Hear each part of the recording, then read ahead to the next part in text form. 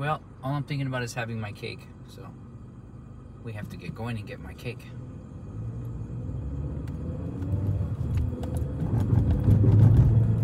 What about you, Andre? What do you want? Napoleon. A Napoléon? Viva la France! Viva la France!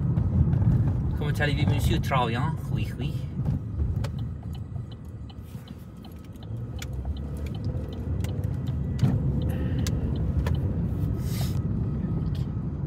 Did you get some good enough footage, Andre? It's very good footage. How long are we gonna keep going? That's called rolling. Is there any time? Is there any time we're gonna say cut print, or is it we're gonna keep on rolling?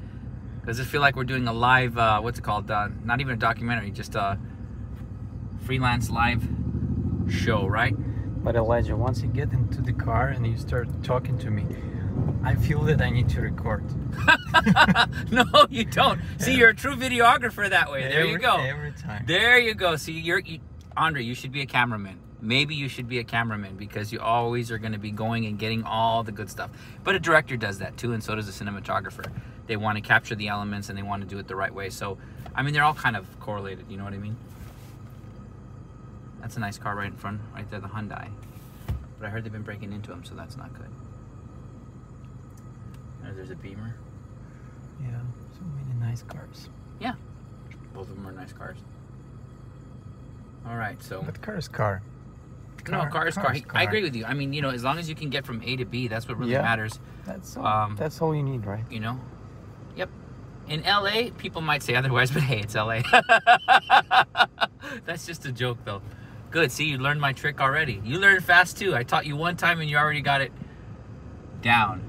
You're a fast learner as well. All right. Now let's just wait until we actually get there, so you can kind of go ahead and you know, uh, is it zoom? Zoom out, right?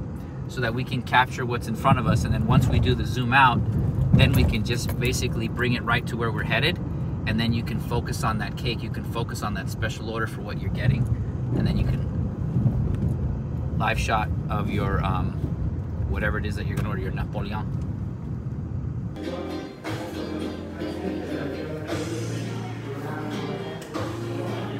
You mean to tell me that the food is here already? No, actually, this place is worth it. It's delicious. Um, that's not just for design. Wait till you see me eat it. And as they would say in France, c'est magnifique la vie.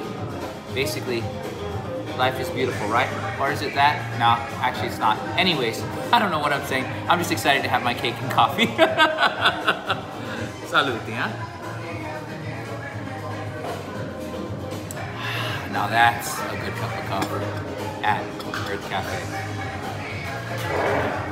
Cut. And a little Napoleon to go. I told you, I love my sweets.